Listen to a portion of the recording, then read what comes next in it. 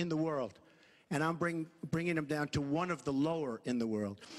And I think it's so important, one of the most important things we can do. But she is raising everybody's taxes massively. Secretary Clinton, you have two minutes. The question was uh, what specific tax provisions will you change to ensure the wealthiest Americans pay their fair share of taxes? Well, everything you've heard just now from Donald is not true. I'm, I'm sorry I have to keep saying this, but he lives in an alternative reality. And it is sort of amusing to hear somebody who hasn't paid federal income taxes in maybe 20 years talking about what he's going to do. But I'll tell you what he's going to do.